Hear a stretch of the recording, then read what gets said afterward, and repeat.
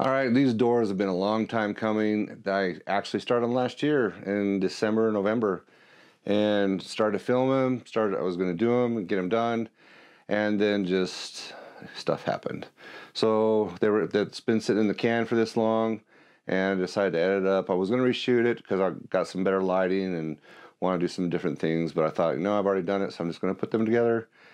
And I had a friend come over and show me how to do some things, and I just got to practice and get better at keeping things in focus. So things are in focus but this is it. Uh, this is the video. Here you go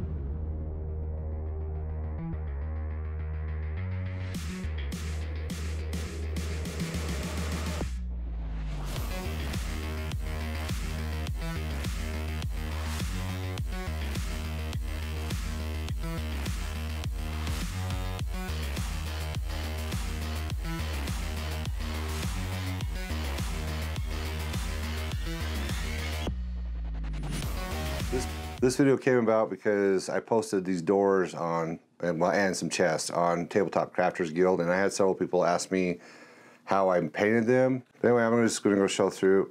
Go, can't even talk this morning. I'm just going to show you how I did this. It's pretty quick as far as most of what I do uh, is concerned. These are just some Whiz, Whiz, WizKids doors.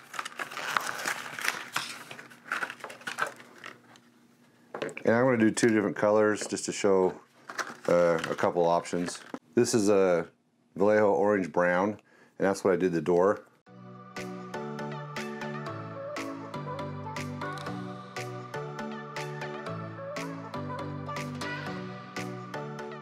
The second door is going to be a Mournfang Brown. Just any kind of dark, medium to dark brown will do.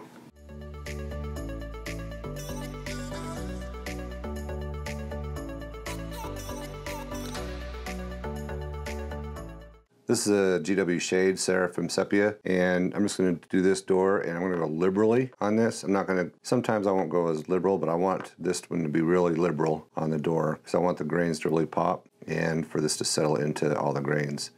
This is Nuln Oil, and I'm to do the same on this one. I'm just going to go very liberal on this door. I want this to be a darker wood, so yeah. I might try to tilt it a little bit so it stays flat, so that way it doesn't all seep to one side and kind of look weird. I mean, it would be shade, shadier in there, so I guess it won't be that bad, but this is sandstone. What I'm going to do now is I'm going to dry brush this one.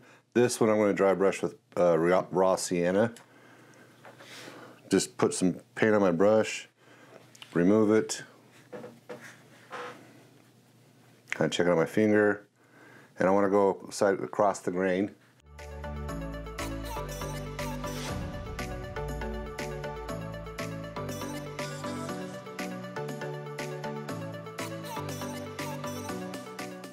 I just used antique gold and I like it better than sandstone. So I'd go antique gold.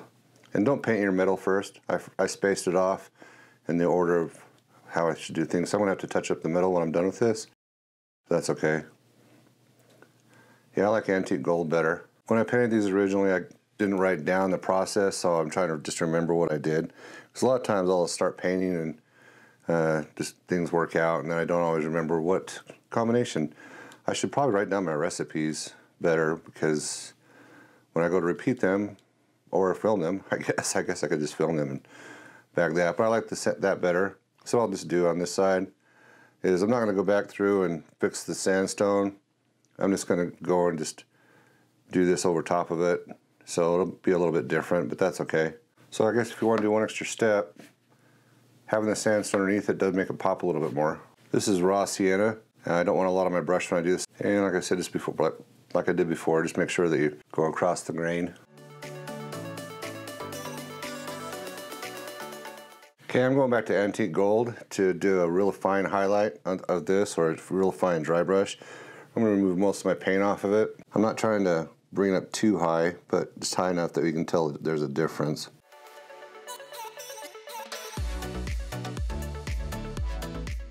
Now one of the things you can do if you're doing this process and this wood is outside and it's getting sunlight, you can do a light gray now and show that the patina of the sun is actually changing the color. I would do this step, even if I was going to do it outdoors, just because you, I like, I like to do the natural colors of woods before I show the patina of gray. So if this was outside, I would now do gray, but because it's inside and not receiving sunlight, I'm not going to do the gray that uh, the sunlight would do uh, to a to wood normally, like on a barn or something like that, and not going to show that type of that style of patina. This is Leadbelcher. Now I'm just going to paint all the middle parts of this before I go any further.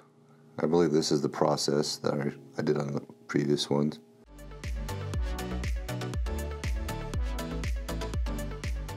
This is Nuln Oil and now what I'm going to do is I'm just going to go over the metal and then I'm going to lightly go around the edges just where the wood and the metal hit just to give that dark crease right there. And I'm going to hit all that. I want to make sure it pulls up around the at least these large rivets. That way it has a good effect once it's all said and done and dried.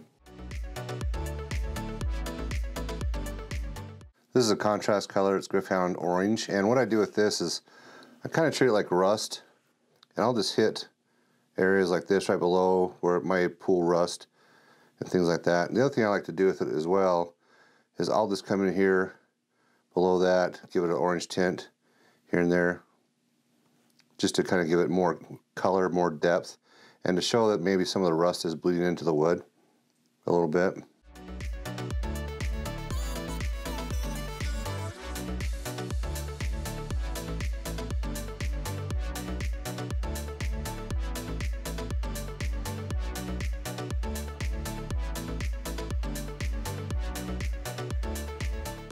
This color is Leadbelcher, and what I'm doing now is I'm just gonna go through and highlight the top of like the rivets and things like that to where it makes it pop, makes it look like the light is shining down from above. Just do it on areas where if the light was coming from above, it would hit first and leave the bottom still dark. That way there's some more contrast to it.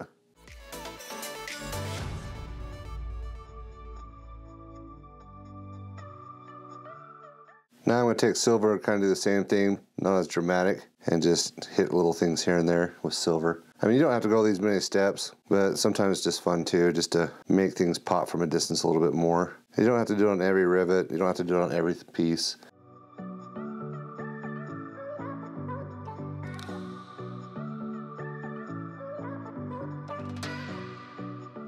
The doors are pretty much done. I'm just taking a medium gray now. I'm just going to apply it to the stonework. Just paint all the stonework up. Then I'll apply a wash to it or a glaze or a shade or whatever you want to call it. This is Nuln Oil and all I'm going to do is I'm just going to apply a heavy wash or shade over all this, all the gray, and then let it dry and go from there. All right, I'm to start the dry brush process. This is a light gray and it's going to be really well, stingy with it. Just gonna get a lot of it off my brush before I start to apply it. Um, kind of bypassing one step. Sometimes I'll go with the, the same gray that I painted this with, but I'm gonna bypass that step. And I'm gonna do it from the top down when I when I dry brush this. And just gonna bring up the edges. And then I'm gonna apply some more shades, but I'm just gonna do this, bring up all the edges. I don't wanna have it too light because I still want this to kind of be a dark dungeon, but I also want it to be, I want it to pop from a distance. And as the paint gets removed, I just press down harder. And the less paint you have, I think think the it's harder to tell that's a dry brush. And plus stone works really well for dry brushing. This is Biel-Tan Green. All I'm going to do on this is I want to go on the bottom of the brick to where it looks like, you know, just organics and things settled where moisture, or just, I'll probably just do where it looks good. But what this does is it helps darken the bottom of the brick. And when I darken the bottom of the brick, it makes the top of it stand out a little bit better. And also I'll just throw some in the crease to darken the, the crease as well. Uh, might actually throw some on the on the door too, here and there, just to help darken it up. And then after this, I'll use Druchii Violet. I just think it adds more when we have organics or things, maybe fungus or whatever growing. I think it adds more flavor to it. I'm gonna go ahead and do all that, and when it dries, I'll move on to the violet.